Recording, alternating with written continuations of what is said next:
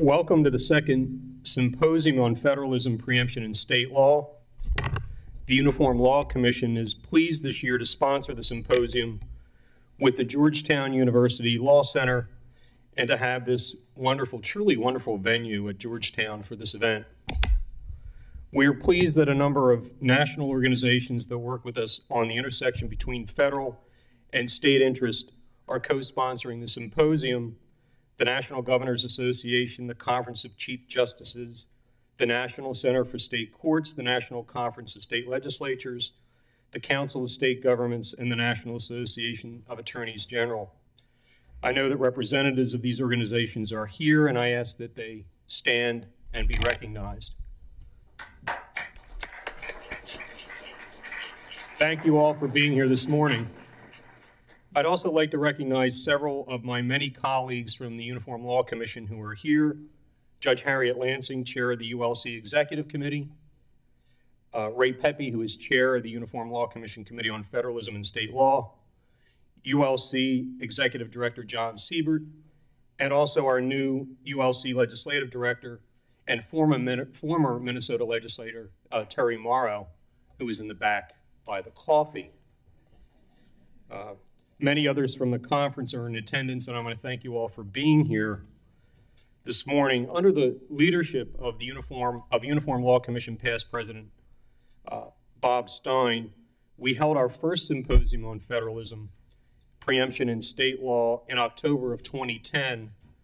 This symposium is intended to further explore the roles of federal and state government in areas of law in which various levels of state government share responsibility in particular, we hope today to have a useful dialogue among representatives of federal, state, and local government about the ways in which the balance of federal and state responsibilities in areas of mutual interest is currently working or not working, particularly with regard to legislative and regulatory matters.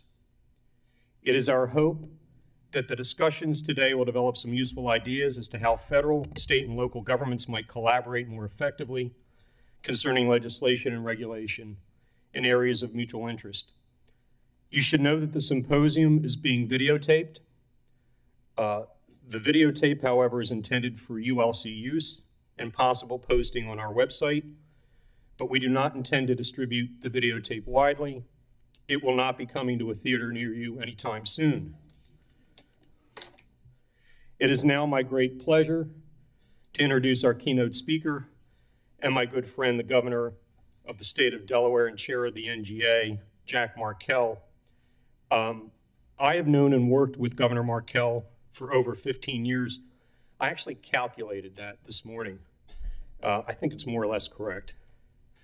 The governor has not only materially and masterfully navigated our home state of Delaware through the worst financial crisis in decades, but in the process, has reformed our pension system, successfully promoted economic development in the state, and placed us in the forefront nationally of education reform, all while maintaining Delaware's preeminence as a leader in corporate and commercial law in the United States. In his spare time, the governor has, among other things, chaired the Democratic Governors Association as well as the National Governors Association with energy and distinction. Governor Markell's background as a business executive has made him especially well qualified to lead our state and the NGA during these difficult fiscal times.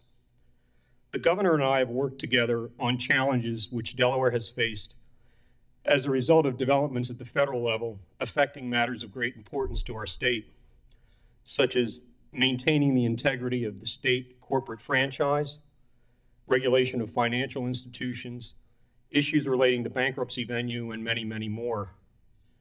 Changes in the historical balance between federal and state law, and in these and many other areas, have a significant impact on our state and on many other states as well. As both governor of Delaware, chair of the NGA, I know that Governor Markell brings a truly unique perspective to issues which strike at the proper balance of state and federal authority within our federal system it is with great pleasure that I introduce my friend, the protector of the Uniform Law Commission budget in the state of Delaware, the chair of the National Governors Association and the governor of the state of Delaware, Jack Markell.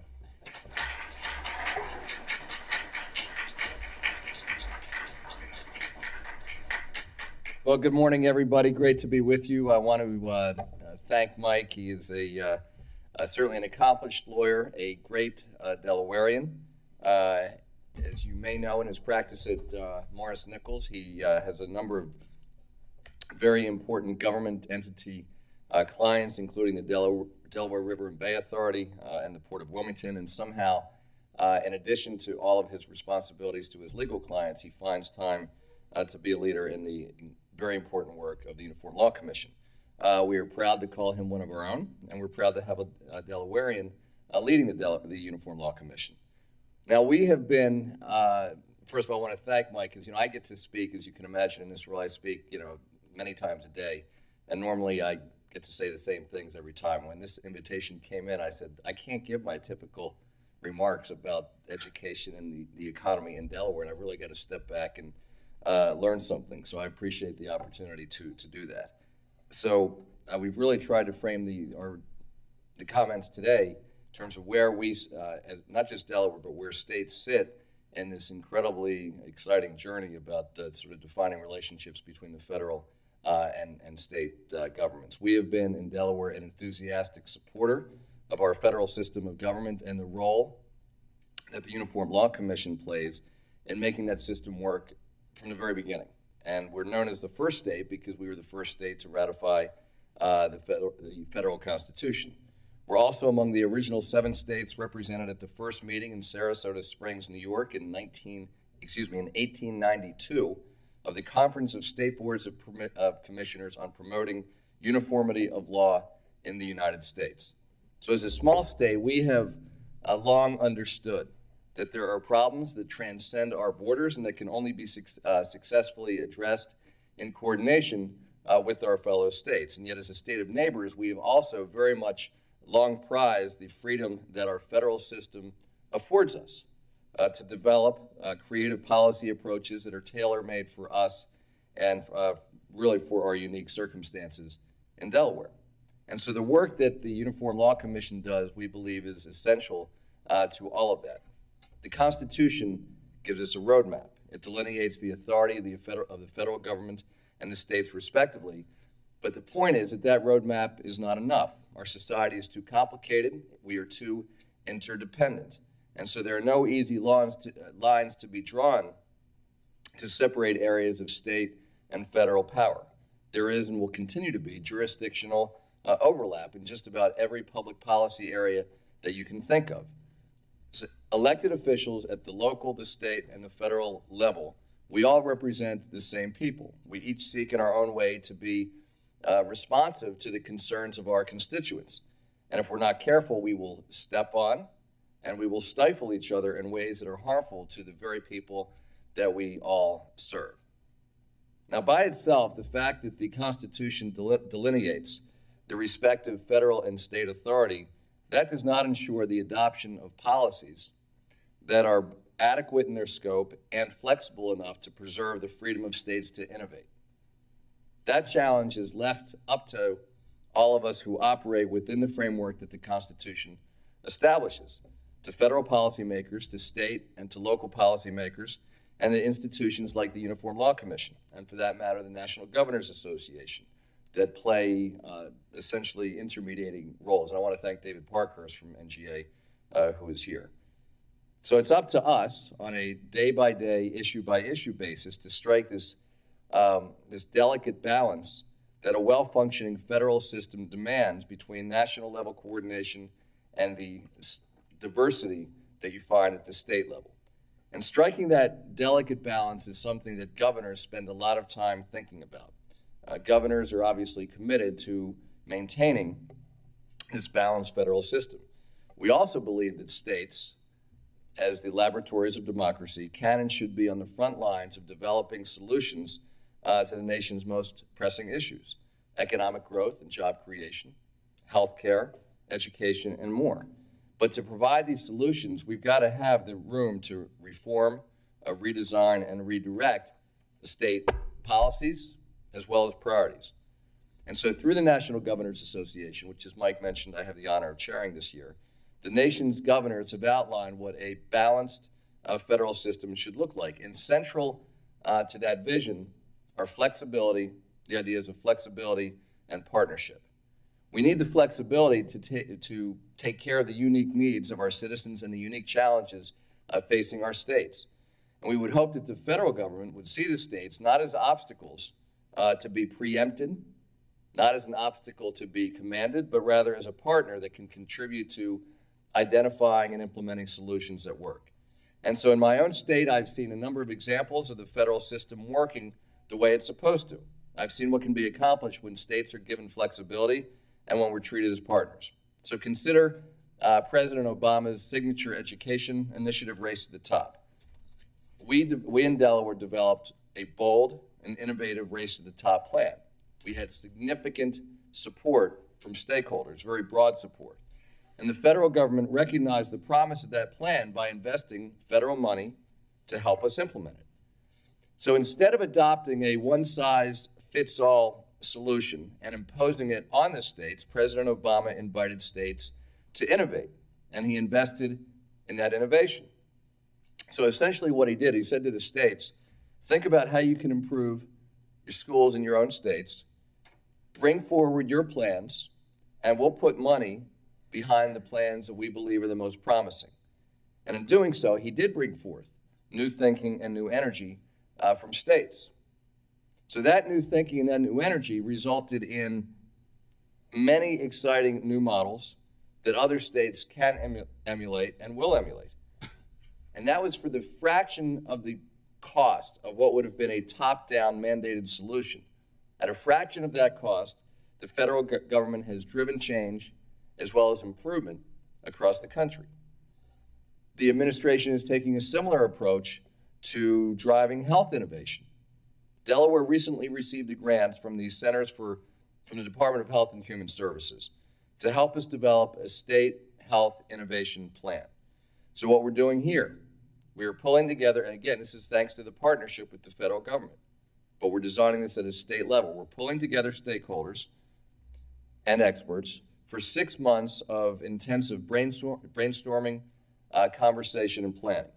We're going to be looking among, at, among other things, at ways to change the way that health healthcare is paid for in the state and to improve our collection and the use of data. To, so basically to find this holy grail of reducing cost and improving quality at the same time. And we actually, we believe that that can uh, be done. So our ambition, as it, as it was with Race to the Top, is to develop a plan uh, that can be a model for other states. Uh, and if we succeed in developing this promising plan, the prospect, it, the prospect exists that we could get a follow-on grant for implementation. We're not the only state doing this. Some very exciting work, for example, being done in Oregon and Arkansas. And in the same way that perhaps states will learn from us and in some areas, we're going to learn from the work uh, that they're doing. So these are obviously very big issues. Uh, ed, educating our kids, controlling health care costs, and I don't believe the president would, would not, I don't believe the president would be doing his job if he weren't driving uh, at this kind of innovation. Uh, but he also wouldn't be doing his job if he wasn't um, treating states as partners in these efforts, giving us the flexibility that we need both to innovate and to tailor solutions for our unique needs. And so the hope of governors across the country is that this spirit of partnership will extend to the other big issues that are on Washington's plate and on our plates uh, back home in, in, in our states. So, and this is a message that we've had a chance to deliver to the President and to Speaker Boehner and Leader Reid as they work to address sequestration and deficit reduction. We know that spending cuts are inevitable, as are tough choices. So what we have asked is that the President and the leaders of Congress keep four points in mind. One, reforms should produce savings both for the federal government and for states. That's number one. Number two, deficit reduction should not be accomplished merely by shifting spending from the federal side to the state side. That really doesn't accomplish uh, very much. Similarly, imposing unfunded mandates does not help. Number three, states should be given increased flexibility to create efficiencies and achieve results. And number four, we don't believe that Congress should impose additional maintenance of effort requirements as a condition of funding. In, in other words, if, Fed, if, the, if the feds cut our funding, then they should not demand the same level of service without with, without providing that same level of funding. So if they cut the funding, we shouldn't be expected to provide the same level of service. Governors of both parties have, have long taken a leadership role in advocating for additional infrastru- infrastructure investment at a time when other countries are far outpacing our own investments.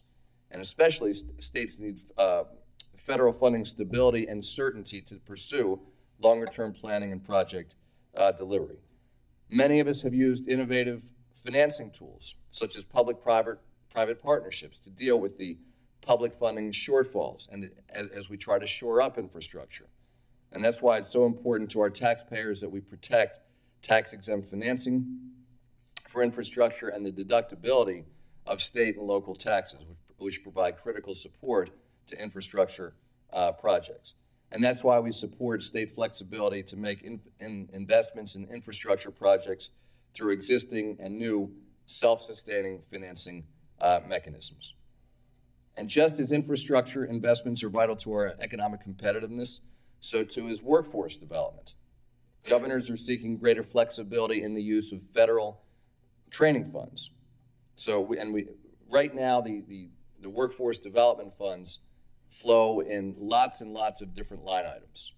And we're saying, give us some flexibility. Let us move from, let us move money from one line item to the next as it best fits in our state. So, and, and, and again, in the area of education, there's a need to revisit the No Child Left Behind Act and to provide greater flexibility, perhaps in the spirit of race to the top.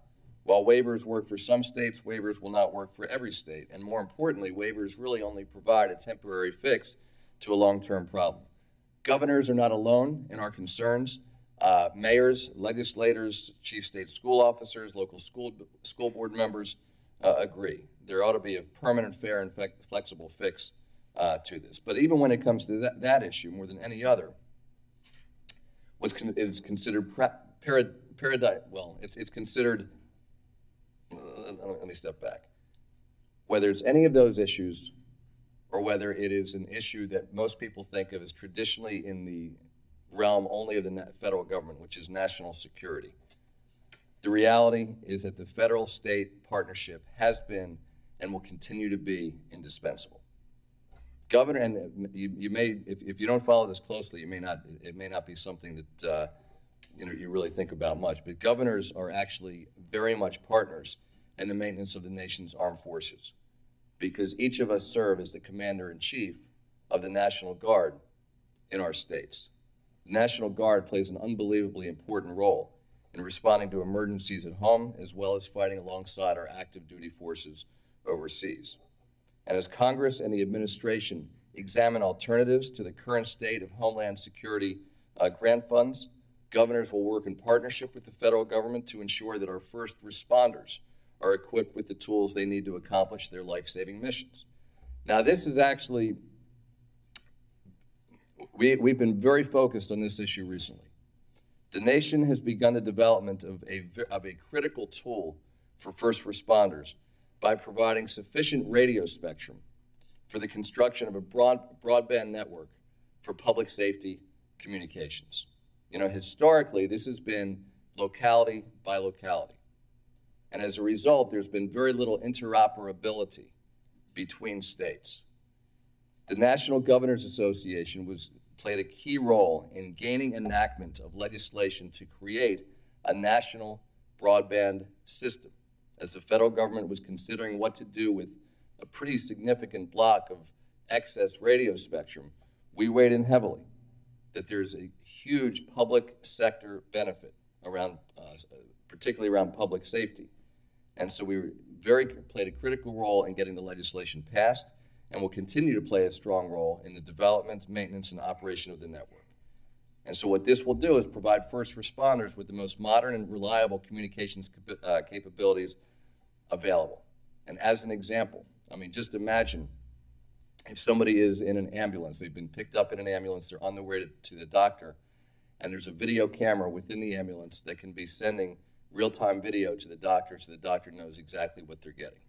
We have an issue across the country now on state borders with sometimes uh, not particularly good operability. And you could have first responders from one state responding uh, to people right on the border. They may be going to a hospital in the other state.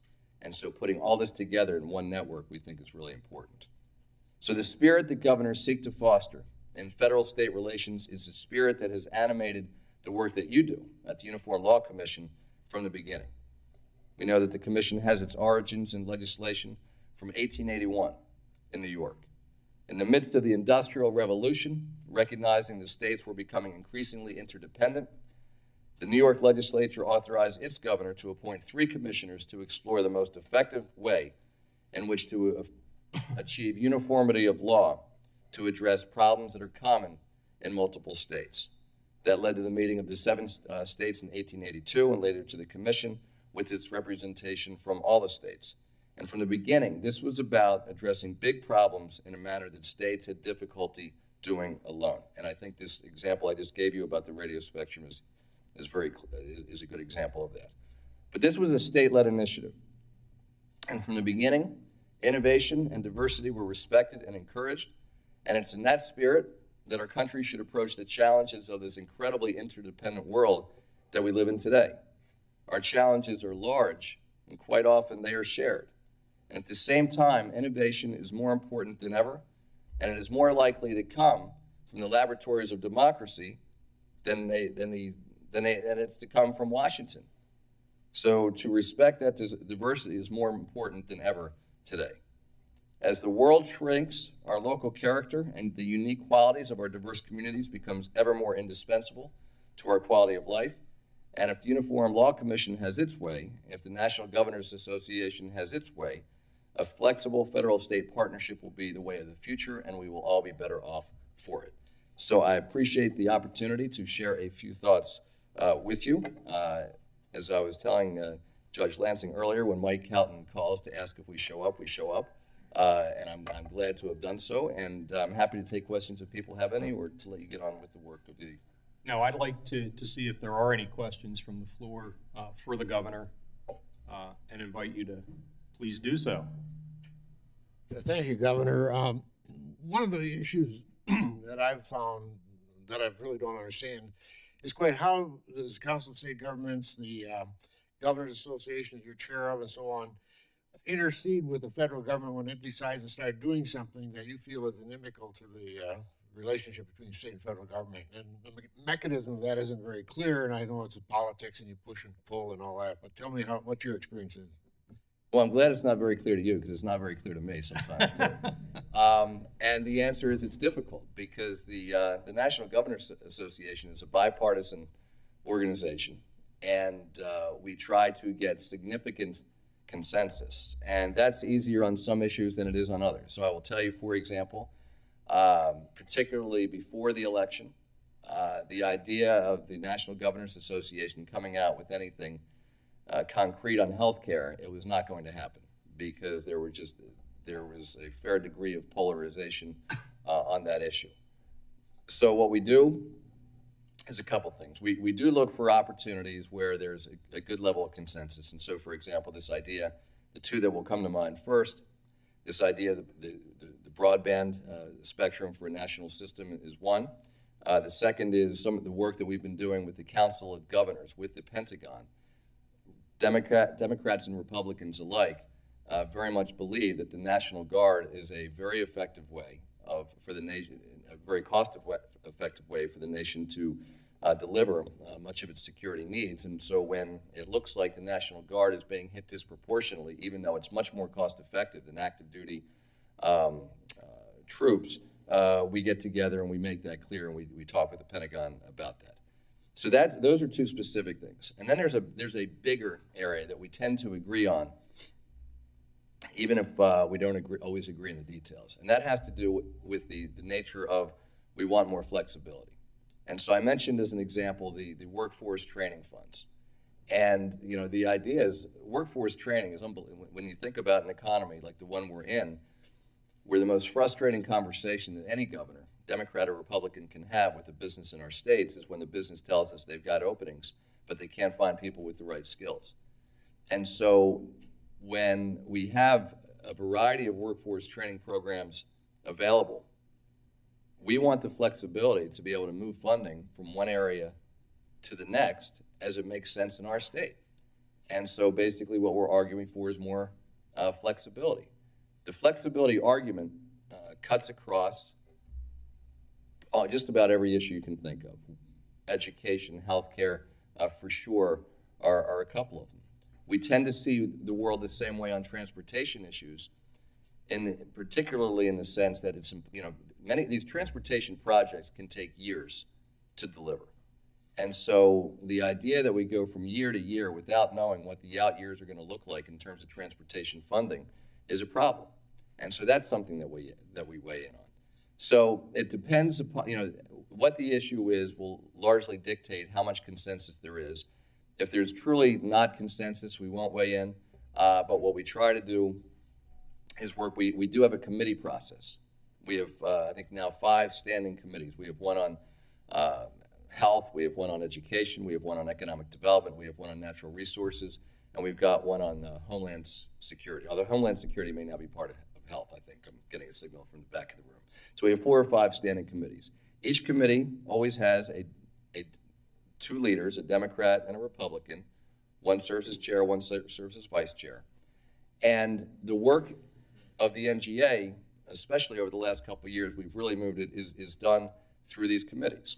And so at the beginning of the year, the, and every governor serves on one committee. So the committees get together and they define what the policy priority areas are for the next year.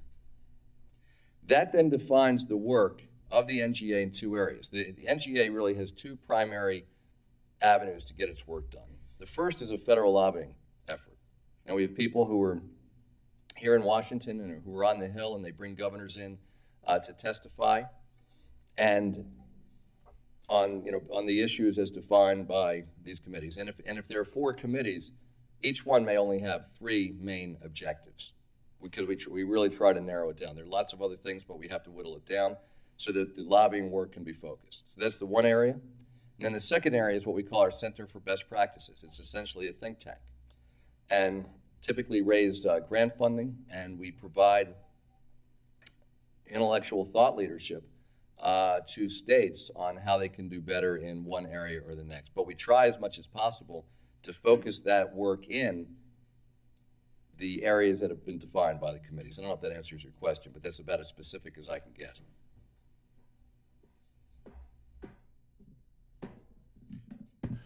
Hi, Governor. Hi, My name is Bart Davis, and I, I do serve in a legislature where are you? uh, in Idaho. Uh-huh. Um, And although I am not in the same party as you, I join you in your uh, concern about the effect of sequestration. Mhm. I, I think a lot of us had hoped that when March 1st hit, that we would see some collaboration, meaningful collaboration to problem solving. It doesn't currently seem to me that that is as much of a focus as I had hoped it would be. As you work with your colleagues, uh, with NGA, and as a governor, knowing how much federal money is in all of our state budgets, how are, are you handling that? How are your colleagues handling that? I don't mean specific. I mean, as you look at the the mandates that still exist, and I realize you've spoken in part to this, uh, but with the mandates that still exist, how do we not find that being a substantial friction between states and federal government? And are you hearing things from inside of the Beltway that give you confidence that we're going to be all right? I don't mean financially, but in resolving that conflict between the federal government and our state. That makes sense. It did certainly to me. Yeah, it's a, it's a big question. Um, and as I, I- as I did mention, and, and back in November, sort of leading up to the debt deal that- that was being discussed at the end of the year, leading up to sequestration, I brought six governors. There were three Democrats and three Republicans. And we sat down with the president and the vice president and their entire leadership team. And then we went to meet with Speaker Boehner and Paul Ryan and, and the Speaker's leadership team. Then we went and we met with uh, uh, Leader Reid and his leadership team. And we essentially uh, laid out a couple of things. First of all, we said it was important to us that we have a seat at the table. We recognize that they have difficult decisions to make. Uh, we didn't. We're not living in a fantasy world where those decisions will not affect us. Uh, but we did ask for them to, uh, you know, consider the impact on states. And I mentioned some of the principles before that we outlined to them, like the idea that just if, if all you're doing to solve your problem is moving the spending to the states, that really doesn't solve anything. And so please keep that in, please keep that in mind. we also did, did give them some specific examples. Governor Beebe uh, from Arkansas, for instance, mentioned in special education. Uh, to the extent that uh, the federal government cuts the amount of money available to states for special education, we've got to be relieved of some of these specific requirements that are built into the law. And so I can't say that I'm hearing a lot uh, that inspires confidence. Uh, I just think the divide between the parties right now seems to be uh, quite significant, and I think it's important that the uh, you know that the members of uh, Congress of both parties hear from their constituents. And I will tell you, for example, that uh, one of the governors I brought with me, Governor Gary Herbert of Utah, Republican, and he talked very specifically about his his concern that the economy in Utah could be very much negatively impacted uh, by sequestration. And so what we're trying to explain is that the results of sequestration affect us in a couple different areas. We can be very specific uh, about the impact on our budget in terms of the cutoff of federal funds in specific program areas. We know exactly now what those dollars are and where they're hitting. They're hitting us in uh, Head Start. They're hitting us in uh, workforce development. They're hitting us in, uh, in, in, job, in, in um, substance abuse treatment. So we, we know that, and we can try to backstop some of those cuts or not. It's very difficult in most states. Uh, so that's one area. But the other area that really hasn't gotten as much attention, but I am absolutely just as concerned about, is what's the effect on our economy? I mean, to the extent that you have uh, a lot of federal employees, to the extent that you've got uh, an Air Force base, certainly the National Guard people who are put on furlough, uh, they're not going to, you know, if they're getting furloughed for 14 days or whatever it is, I mean, for a lot of people, that's the extra spending money that gets them by. And to the extent that they stop spending that money in, in, in, in their local communities, it has a big impact. I'm also concerned about the uh, effect of uncertainty on the, on the business community. And so we are each dealing with it uh, as best we can, but I think it is a, uh, you know, clearly there's just such a divide uh, right now. I think a lot of us had hoped that after the election, uh, people would be able to get together and, and, and find a path. And obviously, so far, that's not true. Not, that's just not true, and we're just going to have to forge the, the best path in our own states as we can.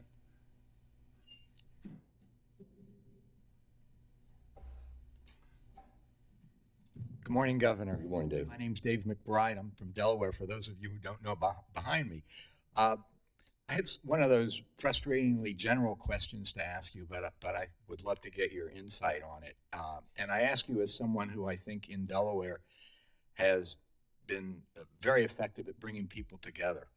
And obviously, we are in a situation where we seem to repeatedly have the inability to bring people together to solve problems. Uh, what is your insight, either from your experience as governor or from the NGA, about bringing people together? And, and is there a difference in perspective between the governors and the senators and representatives in Washington with respect to issues? Well, I think there is a big difference. Uh, and um, so, first of all, you know, as governors, we are not measured, we're not really evaluated based on how good a speech we give. We're not based on the our rhetoric. We're measured on a few key things. Are we making our schools better? Are we creating more economic opportunity for the people of our states? Uh, are we get are we making sure that tax are we doing everything we can so that taxpayers get the best possible return on their investment? Are we protecting the most vulnerable? I mean, there, there are a handful of things. So that's what we focus on. And that tends to bring people together. You know, it's, it's not to say it's perfect. It's not perfect in Delaware. It's not perfect, you know, probably anywhere. But we've got to figure out a way to work with people on the other side of the aisle to make those things happen. Now, unfortunately, I think, in, you know, in Washington, it's become something very different, particularly not just, not just the House, but I think particularly the House, because I think what's happened, there are just so many fewer moderate members of the House these days than there used to be. And I'm not saying moderation, you know, whatever that whole expression was about, uh, you know, the moderation is the virtue. But the point is, there are fewer people in the center. Because particularly with gerrymandering, where what's happened over the last, certainly in 2010 and in 2000 as well, but especially more recently, there are many, many fewer members of Congress who have to worry about their general election opponent because districts tend to be drawn much more for one party or another. So what that tends to do is it tends to make members of Congress more interested in protecting themselves against an election from somebody from the extreme of their own party. So that's exactly the opposite of saying, okay, well, how do I get, how do I work across the aisle to make things happen? So I, I think to me that's number one, and number two, my my belief is that with uh, cable news and all the uh, the talk shows and everything else, people, the, the people who get most of the coverage, this is, this is not entirely fair, but I mean, I think it's pretty close. The, these media outlets are a lot more interested in people who are very strongly hewed to one extreme or the other because that sort of makes more news. I mean, how much news is it if I say I want to work with the, on the, on the I want to work with the other side? It's not all that interesting. But if I'm shouting about you know, the rightness of my position and the wrongness of their position, that becomes more interesting, unfortunately. But I think that's what tends to happen. And so I think we've got these two structural problems that we really, uh, that, that are rel relatively new. And I'm not sure I've got any great answer for it, for it but I do know that uh, in the states, in Idaho, you know, I know being a very Republican and state, and I don't know, you know, how many Democrats you have in the legislature, but my guess is on you know certain issues, whether it's you know education or jobs and, and the like, you know you, you will find some people who want to work with you. I'm guessing, um, and that's and that's how it's how it is in our state. It's not on every issue for sure, but I, I'm not sure how that gets extended to Washington. But I do think if you talk to most governors, uh, they'll say that you know if we focus in on those handful of issues that people really care about, uh, we're going to make more progress.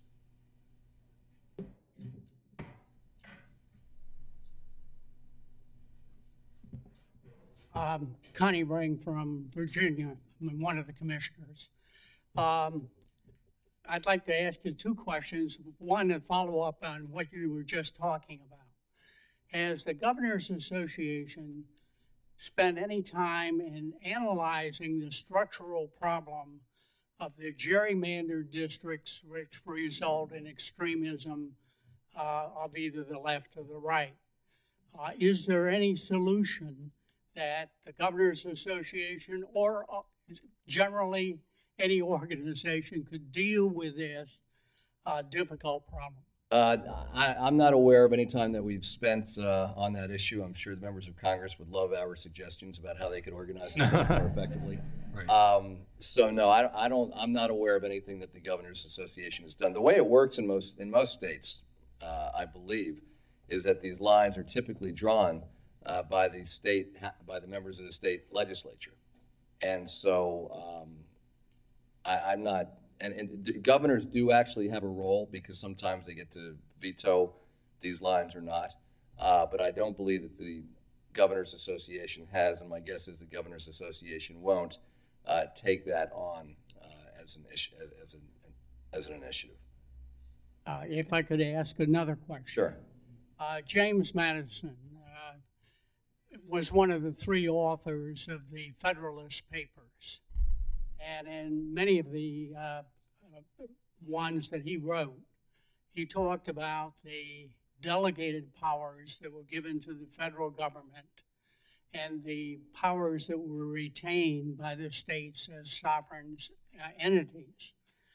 Uh, are there, in the light of a global world economy, certainly a very strong national economy, are there any areas that really can be sorted out as being those powers that should be exercised largely exclusively by the states? And are there any powers that the federal government doesn't have at all?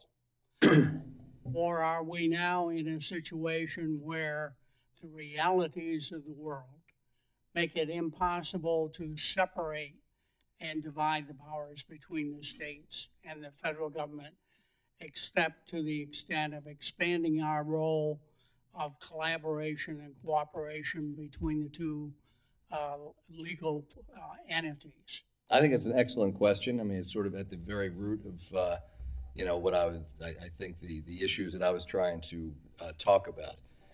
I, you know, I think for the most part, you would have governors respond to that question by saying that the, uh, the issues that should be left to the states are just about everything that weren't delineated specifically as being in the province of the federal government. And it hasn't really worked out that way. And I think that's why sometimes you'll, you'll hear uh, these debates and you'll hear governors of both parties uh, trying to uh, resist further encroachment uh, by the federal government on uh, responsibilities that are best left to the state. I mean, we, we, we really do believe, and I think this is again something else you find Democrats and Republicans agree on, that this that this idea of the laboratories of democracy is important, and and by far the best conversations we have when we get together.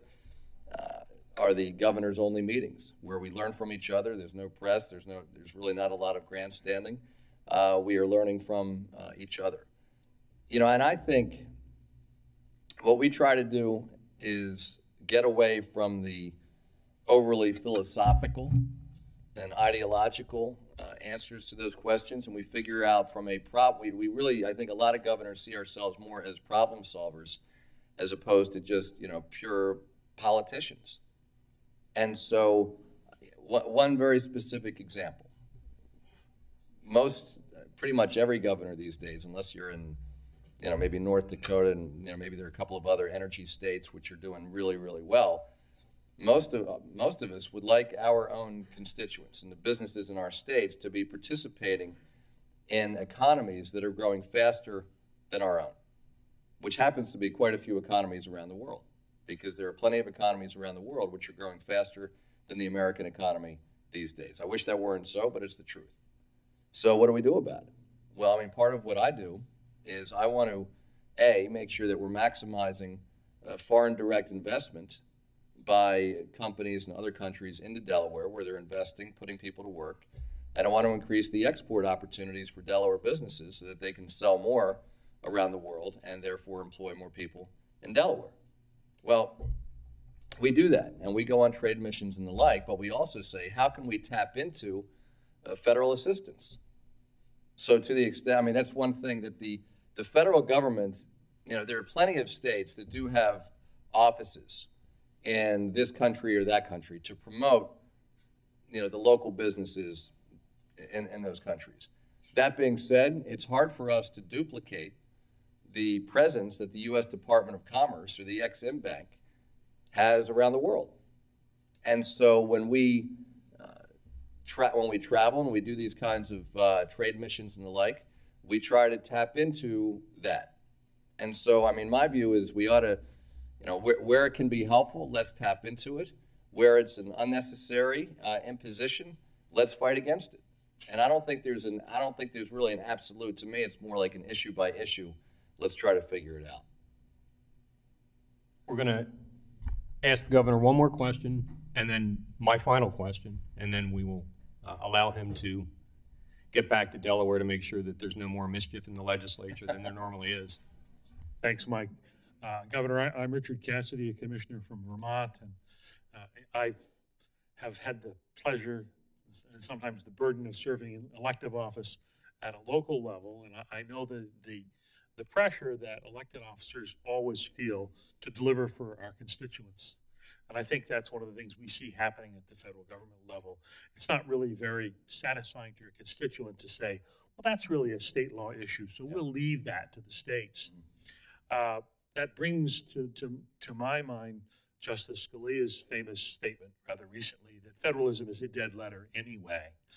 Um, and that concerns me. I wonder whether one of the answers we don't need to have as a group of state law organizations uh, is some willingness to monitor what's happening uh, from a litigation perspective, particularly at the Supreme Court level, and a strategy for working together to, to be sure that when the Supreme Court's deciding things, they're paying attention to the interests of, of groups like the Governors Association, the National Conference of State Legislators, uh, and the Uniform Laws Commission to say, oh, you know, federalism is in the Constitution and does have meaning. Just love to have your thoughts. Yeah, I think it's very, I think it's very interesting, and I, I very much agree with the premise. And I think the uh, one of the areas that I've really tried to focus on uh, in my administration is to make sure that everybody. I, I have 16 cabinet departments, and I've been very clear to them from the very first cabinet meeting and pretty much everyone since then to remind them that their job is not to defend the agency that they lead. Their job is to put the citizen at the center of everything they do, and particularly to recognize that citizens could care less if a problem they're having is the responsibility of our Department of Education or our health department. For that matter, they don't care if it's a responsibility of the city government they live in, the county government they live in, the state government, or the federal government. And so I think this is probably a lot easier to pull off in a state like Delaware, where we have uh, we, we only have three members of our congressional delegation who are very plugged into what's going on locally, uh, and where it would not be unusual to have the mayor of a town of like 600 people literally call the U.S. senator because they ran into each other the day before at the grocery store. And so I think that focus on uh, blurring the lines from the citizen's perspective between layers of government is incredibly important. And, as a re- and, and, and so I agree with the premise of your question that we, it's, it's incumbent upon all of us to make sure uh, that folks at the federal level and sort of really all levels rem- remember that. Thank you, Governor. Governor, I just had one final um, question. You had mentioned earlier um, the idea that you, you mentioned the phrase seat at the table, and part of what we're trying to do in the symposium that we had two years ago and in this symposium is to provide a better seat at the table for the Uniform Law Commission, but work with our brother and sister state organizations to try to have a louder and better voice on issues that relate to our organizations and the interface with the federal government. Uh, you've led the NGA. Uh, do you have any advice for what we can do better in a cooperative fashion, not only at the ULC level, but CSG, NCSL, and all the others to, to better integrate? Because as someone once said, we all either hang together or we hang separately, and at some point, uh, sometimes we feel like that. I think it's all about communication. I mean, you know, my experience is that 95% of the things that go wrong uh, are a result of lack of communication. And I think it's, um, uh, there's probably a very good opportunity for the Uniform Law Commission to figure out which issues uh, there may be an overlap of interest on. Uh, and to sit down with people at the NGA or the League of Cities or the National Council of State Legislators, legislatures or, or, or whatever it is.